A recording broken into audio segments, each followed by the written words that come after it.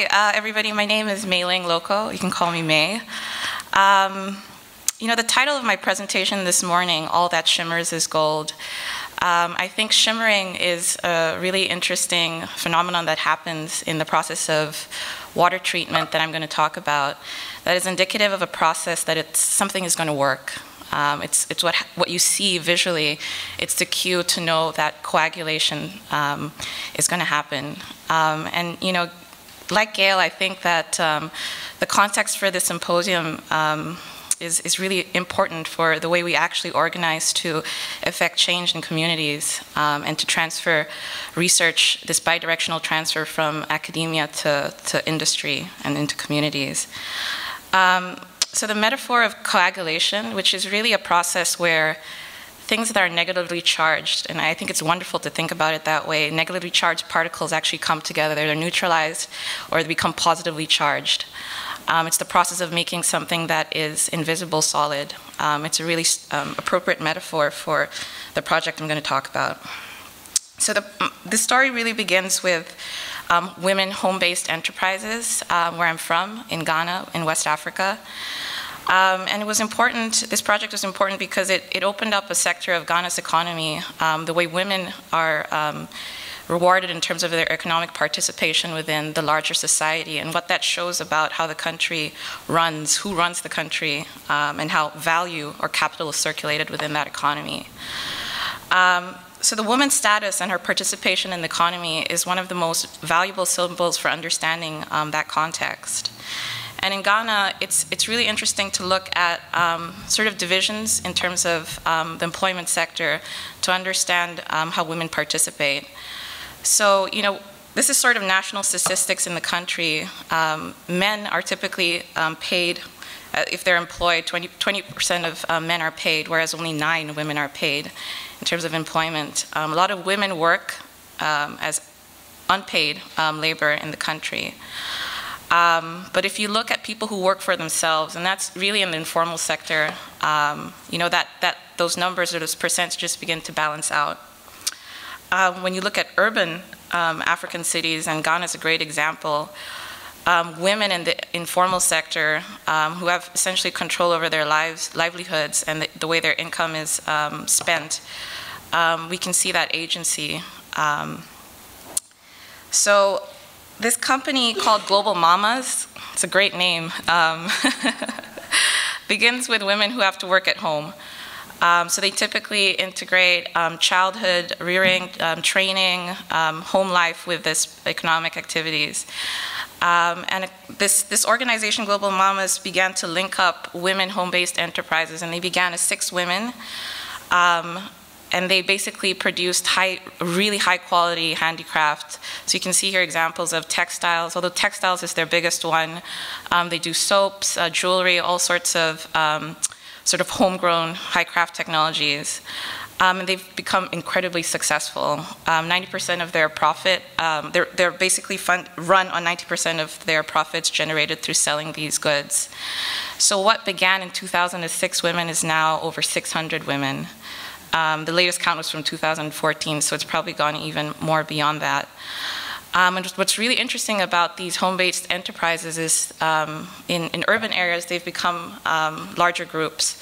So the groups I was working with were a group of 40 women who began to rent an entire house and make use of, you know, co-producing to cut down costs and distribution.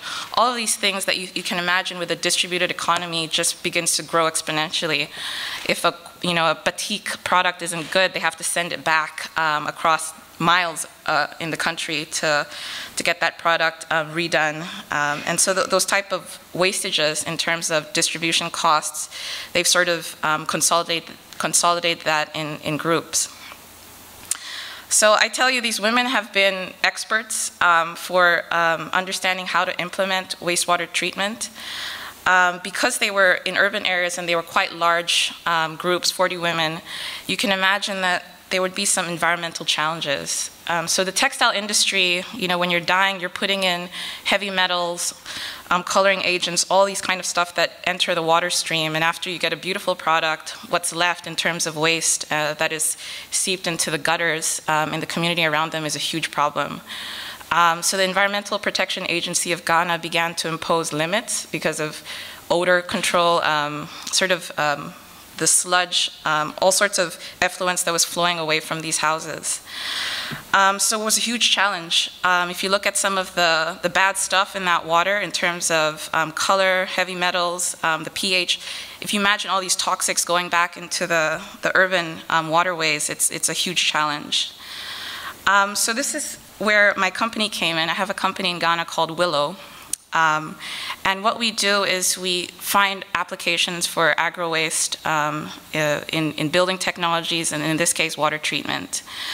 Um, and agro waste is a, it's a huge, I think it's one of the most, most underutilized resources that we have um, on our planet today and it's so closely associated with our growth. The more we grow, the more food we, we consume and the more waste we produce. Uh, so for every uh, mega, megagram of biomass that we generate for food, about two-thirds of that goes into waste, which is a huge problem, as well as an opportunity. Um, I've mostly focused most of my research on a very exciting agro waste called uh, coconut husk. Um, you know, since I, I, did my PhD at RPI and I was missing home, so obviously I brought the coconut research to RPI. Um, and it's not the most widely traded or produced, um, but there's a lot of interesting characteristics around what is composed in that agro waste. And I think, you know, for the purposes of this work, coconut was a great case study in uh, actually identifying what's valuable in the waste and using that for different applications, in this case, the building sector. So um, in Ghana, we started looking at a natural coagulant called the moringa plant. Um, and moringa is this uh, leaf. um, fast-growing, abundant plant uh, all over Ghana and in many areas around the world, along the tropical, hot, humid region. And it's like this magical tree. I, I can't, every part of this tree is used for something um, from tea to oil to um, cosmetics, um, and it just keeps growing. The more we learn about this plant, uh, the more we realize it's a superfood that we literally have never seen. Um, and you can find that today it's being sold in the United States in Whole Foods for tea, um, for the kind of stuff they use as spirulina in your shakes. It's become associated with a nice green hippie culture. I'm all for that. Go ahead. Um, but it's driving the production, the supply chain from, Af um, from parts of Africa like Ghana in a whole new, on a whole new scale. And what's associated with this production of these um, tea and oil products is this waste. Um, so this shell, when you ground it down into um, a press meal, uh, gives you something like a flour. It looks like almond flour. And the company producing, a fantastic company called Moringa Connect, producing these products, um, has no idea what to do with, with, with, with the flour. Um, and you know, in conversations with um, global mamas and understanding what their available means to treat their wastewater streams, we realize that cost obviously is the biggest hurdle. Um, the competitive technologies right now in Ghana are these synthetic coagulants or flocculants that are imported. And if you look at the costs, um, you know, 700 cedis, which is about $200 per kilo. This is not something anyone, a small home-based enterprise can, can afford, versus moringa um, press meals virtually free and grown in, in a lot of rural and semi-urban areas. So we began doing a lot of testing with um, optimizing the dosage of the moringa with these textiles, and I, I, tell you, it was a huge failure for a good two months. Um, and then we started to get a few things right, um, understanding what pH conditions moringa would work within, what dosages, the mixing rates. Um, and I'm not going to show those results because we haven't published them yet, but um, it performed much better than any of the synthetic flocculants. The only thing we realized is it produced a lot of sludge. I think somebody who's a water expert can, can speak to this. Um, but our research is now focused on developing building materials out of that sludge.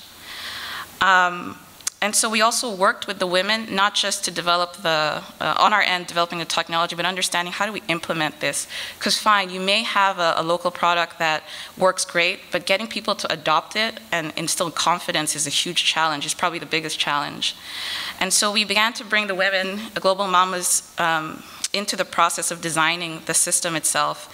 And so these had to be affordable um, um, systems that they could easily make with materials that um, were within their surroundings. And you know, the women instructed me on everything. We looked at ergonomics designs of the chairs because um, they had a lot of back problems associated with dying um, at a low height. Even the tilt of this table here very little things uh, like that.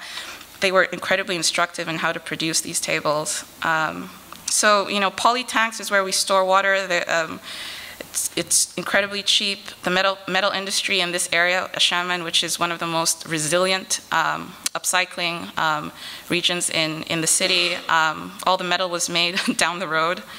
Um, and it looks like I'm in control here, but no. Um, the women were literally just like, that's not going to sink. Your, your, your, your sieve device is not heavy enough.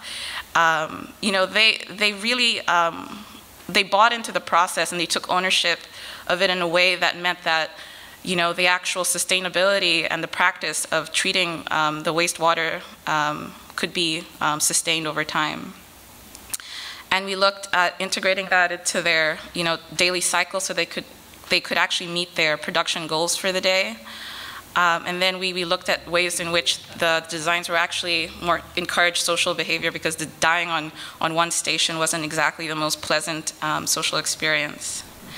So, I mean, I think, you know, I moved away from the object in this presentation, which was the tables and the systems, and um, the design of what we're calling the Global Mamas Fair Trade Zone, which is an attempt to centralize to some degree the production because of the high distribution costs within that company. Um, but I think, you know, in thinking about what the role of a creative, an architect, a designer is within these, these ecosystems, um, you know, there's certain skills around how do we build these alliances way before, um, you know, the actual project, whether it's a design build or um, the design of a water treatment system. How do we set up this, the organizational framework in a way that everyone has a lot of control and contribution to that process? I mean, I think, um, you know, at RPI, and I think with, with um, folks um, working in the architecture industry, architecture without borders, architecture sans frontières specifically, we've, we've began to under, understand what, are, um, what, are, what can be gained through this process. Um, so I just want to end with this diagram and talk about it. Um, this, I talked a little bit about co-design, and I think that really transforms um, the agency we traditionally feel as architects we have or designers we have in, in this process. It moves away from the designer as an expert to a, um, a collaborator. Um, there's a lot of value to be gained in bringing in the the actual clients into the evaluation and monitoring of their system so that it's a high quality, robust system that can be sustained. And from an academic perspective, I think we're learning really interesting ways of um, uh, crafting design research. Um, wherein there is a methodology to design that um, is informed by the context that we're working within. Um, and so um, that's what I've, I've, been setting up at RPI, a way to work with sort of startup companies in the global south, Willow in Ghana, and um, with collaborators here. And I, I, hope, given the context of this panel, this is the beginning of some of those discussions. But thank you very much.